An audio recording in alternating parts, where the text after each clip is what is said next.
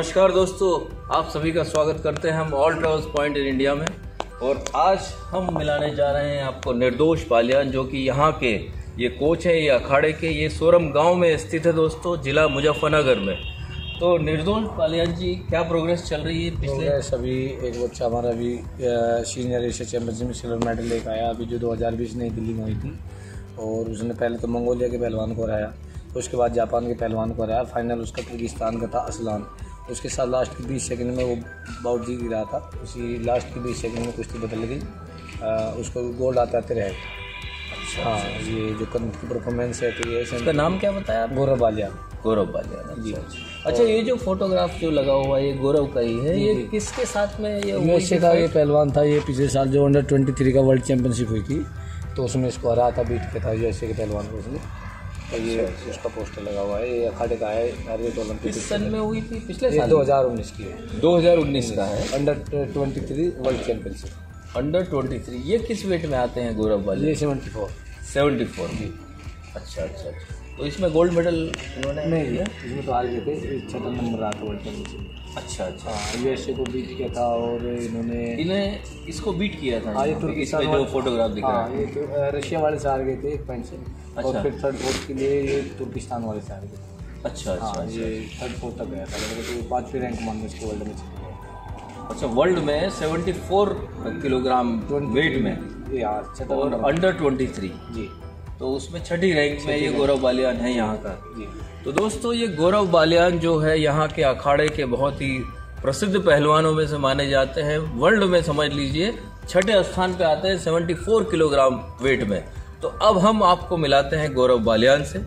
आइए दोस्तों अभी जल्दी करंट में सीनियर एशिया चैंपियनशिप में सेवेंटी नाइन के जी में सिल्वर मेडलिस्ट है तो एशिया में दूसरी रैंक मानी उस हिसाब से। सीनियर एशिया चैंपियनशिप गौरव का। जी। अच्छा अच्छा अच्छा।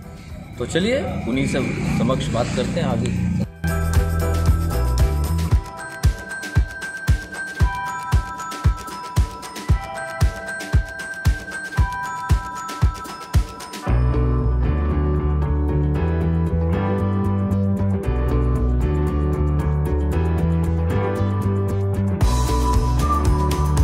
अब हम आपकी मुलाकात कराने जा रहे हैं। यहाँ की आन पान और शान टाइगर ओलंपिक के शेर से। और ये है गौरव बालियान इनका नाम है दोस्तों। तो गौरव बालियान के विषय में अपने निर्दोष बालियान जी बताएँगे। जी आप। सर जी ये तो अब इंडिया के आने वाले टाइम के स्टार है और ये मेहनत भी कर रहा है और उसका हार्डवर्क पूरा देश इसको मान चुका है। अभी सीनियर एशिया चैंपियनशिप थी पिछले महीने। तो उसमें इसका सिल्वर मेडल आया सेवेंटी नाइन के जी में और बड़े बड़े हम भी जो खुद थे हमको भी यकीन नहीं था कि सीनियर लेवल पे इतनी जल्दी आ जाएगा। अभी एक साल डेढ़ साल पहले अंडर सेवनटीन का खिलाड़ी था।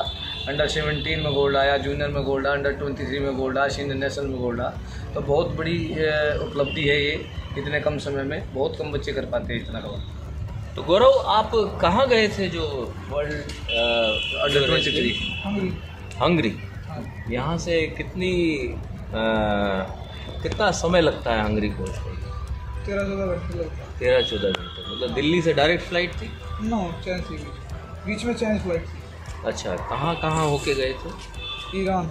ईरान होके गए थे। तो वहाँ कितने दिन रुके आप? हाँ एक हफ़्ता रुके। एक हफ़्ते रुके। और वहाँ पर आपको कौन सा मेडल प्राप्त हुआ है मैं थर्ड की गया मेरे में थोड़ा सा तेज बोलेंगे थोड़ा अच्छा। थर्ड डी पीचेस बाउट हार गया था मैं। मेडल की जो बाउट हार गए अच्छा अच्छा अच्छा छठे छठे नंबर के अच्छा मतलब वहाँ पर आपकी सिक्स रैंक आई है पूरे मतलब वर्ल्ड में। हाँ, आपके जो 74 किलोग्राम का जो वेट है। जी। अच्छा और अभी क्या प्रोग्रेस चल रही है यहाँ पर? आने वाली क्या तैयारी है आने वाले समय में कि हाँ मुझे तो, फ़र्स्ट एशिया अब ओलंपिक के है सेवेंटी फोर के जी इंडिया ने अभी क्वालिफाई नहीं किया है।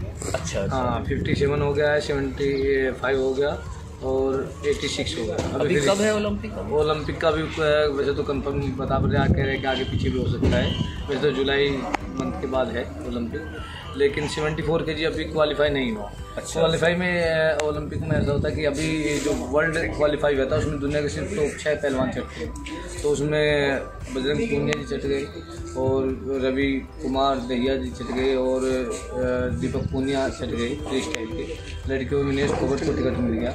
तो अभी 74 फोर के जी जिसमें लड़का उसका है तो अभी जो ट्रायल हुई थी तो ट्रायल में जितेंद्र फ़र्स्ट आया था। एक मिनट। भाई जो पहले छः खिलाड़ी है, वे तो सिलेक्ट हो चुके हैं। लेकिन अब एशिया क्वालिफाई है और ये इसी महीने के लास्ट में होना था। हो सकता है कैंसिल हो जाए, फिर बाद में कहीं और हो।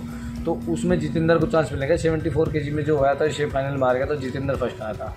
अगर ओलंपिक क्वालिफाई जितेंद्र कर जाएगा तो उसके बाद ट्रायल नहीं होगा। अगर नहीं कर पाते हैं, जो फाइनल में जाएँगे एशिया में फ़र्स्ट और सेकेंड उनको टिकट दिया जाएगा टोक्यो ओलंपिक का। अगर वो फाइनल में नहीं पहुँच पाता है तो फिर ट्रायल होगी। ट्रायल में हो सकता है सुशील पहलवान जी जितेंद्र जी अमित धनखड़ जो इंडिया के टॉप रेसलर है सेवेंटी फोर के। जी के दोबारा ट्रायल होगा जो उसमें फ़र्स्ट आएगा तो फिर उसको दो चांस जो लास्ट के बचे हुए हैं वे दो चांस उसको मिलेंगे ओलंपिक क्वालिफाई करने के लिए। अच्छा। तो अब तो उसी की तैयारी चल रही है। और उसी के मद्देनज़र उसी डेट के हिसाब से अभी प्रैक्टिस चल रही है अच्छा और सुना है आप यहाँ समय समय पे दंगल करवाते रहते हैं और किस किस समय पे यहाँ पर दंगल हुए हैं? इसी साल नवंबर में दंगल हुआ था दीपावली के पास। भारत केसरी दंगल करा था तो अगले मंथ भारत केसरी? दंगल। अच्छा। मौसम पहलवान किशन पहलवान की जी इसकी गौरव की सभी की कुश्ती हुई थी बड़ा दंगल हुआ था इंडिया लेवल का। और अगले मंथ अप्रैल में कोशिश करेंगे कि दंगल कराए एक और बहुत बड़ा दंगल आयोजन कराने की इच्छा है। अच्छा तो यहीं पर दंगल का आयोजन किया जाता है? जी दंगल हाँ बहुत पब्लिक भारी पब्लिक आती है तीस चालीस पचास हज़ार पब्लिक आती है बहुत पचास हज़ार पब्लिक हाँ बहुत पब्लिक आ जाती है रोड पूरा तीन तीन चार चार पाँच पाँच घंटे बिल्कुल ब्लॉक हो जाता है। अरे अच्छा अच्छा अच्छा। तो दोस्तों सुना आपने यहाँ पर कितने बड़े लेवल पे दंगल होता है मुझे लगता है यहाँ पे ये ओलंपिक का स्टेडियम पूरा जगह जो ओलंपिक का स्टेडियम बन जाती है यहाँ पर। तो दोस्तों हमने मिलवाया गौरव बालियान से और ये जो निर्दोष बालियान हैं, वाकई इनके तो हम बहुत आभारी हैं कि इन्होंने हमारे गाँव को एक ऐसी प्रतिभा दे दी और ऐसा विशाल ये अखाड़ा यहाँ पर दिया है, जो टारगेट ओलंपिक कुश्ती एकेडमी सोरम के नाम से जो जाना जाता है दोस्तों। और ऐसे ही ये आगे बड़ी बड़ी प्रतिभाओं को लेकर आते रहे, जिससे हमारे देश का, हमारे गाँव का और पूरे वर्ल्ड में हमारे शहर का नाम रोशन हो दोस्तों।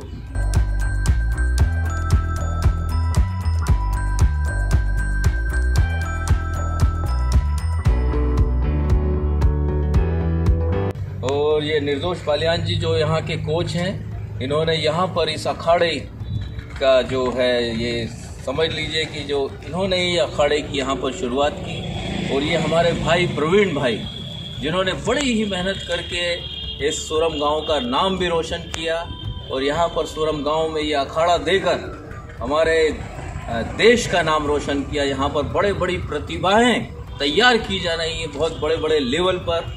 और ये हमारे बड़े भाई हैं, जो कि जयवीर बालियान के नाम से जाने जाते हैं। और इन लोगों के आशीर्वाद से ही ये सारी चीज़ें यहाँ पर चल रही हैं। और हम इनका धन्यवाद करते हैं कि हमारे गाँव में इतना अच्छा ये अखाड़ा देकर, खासकर हम भाई साहब का बहुत शुक्रिया अदा करते हैं कि इन्होंने इतनी अपना समय निकाला और यहाँ पर ये इतनी सारी प्रतिभाओं को यहाँ पर ये जो है बिल्कुल व्यवस्थित, बलिष्ठ बना रहे हैं।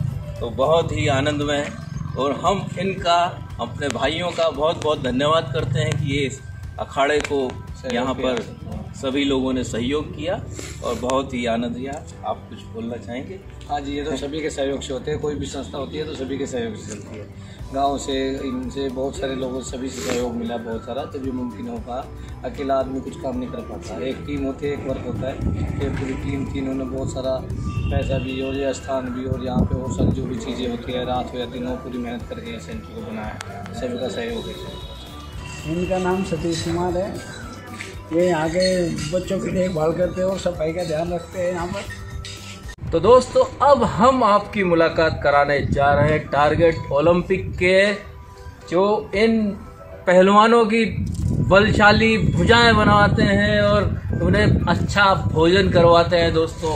अब इन्हीं से पूछते हैं कि यहाँ पर ये कब से हैं। आ, तो आपका शुभ नाम क्या है? संजय कुमार जी। संजय कुमार। समापुर अच्छा अच्छा अच्छा। कहाँ के रहने वाले हैं आप? कस्बा शाहपुर जी हाँ तो यहाँ पर कितना समय हो गया? दो साल हो गए। दो साल हो गए। तो पूरा मतलब देख रहे कि यहाँ पे जितने भी पहलवान हैं सब आप उनके लिए भोजन तैयार करते हैं। तो एक माँ का दर्जा हो जाता है वो तो बहुत बड़ी बात है। आपने इतने सब लोगों को क्योंकि सबके जो परिवार वाले हैं सब तो गाँव गाँव से कहाँ कहाँ से आते हैं पहलवान और आप उनके उनके बिल्कुल ये समझ लीजिए आप उनके माँ का कार्य कर रहे हैं। बिल्कुल भोजन बना के देना और उनको और जब भी आप भोजन बनाएँ एक चीज़ मैं बता रहा हूँ ईश्वर का नाम लिया करिए जब भी आप भोजन बनाओ और देखो बिल्कुल और आगे, और ये पहलवान लोग और तरक्की करते जाएँगे और आप भी। ईश्वर का एक मिनट के लिए नाम लेके कि हे ईश्वर, इस खाने में अपने अच्छे शुद्ध मन शुद्ध मन से जब कोई भी चीज़ बनाई जाती है तो पवित्र अमृत जैसे बन जाता है। आप पानी भी पीते हो ना? तो 10 सेकंड के लिए रुक जाइए और भगवान का नाम लीजिए कि हे भगवान, इसको सब पवित्र कर दो। तो सब पवित्र होकर सारी चीज़ें सब अच्छी हो जाती है। तो बस बहुत बहुत खुशी हुई आपसे मिलकर धन्यवाद।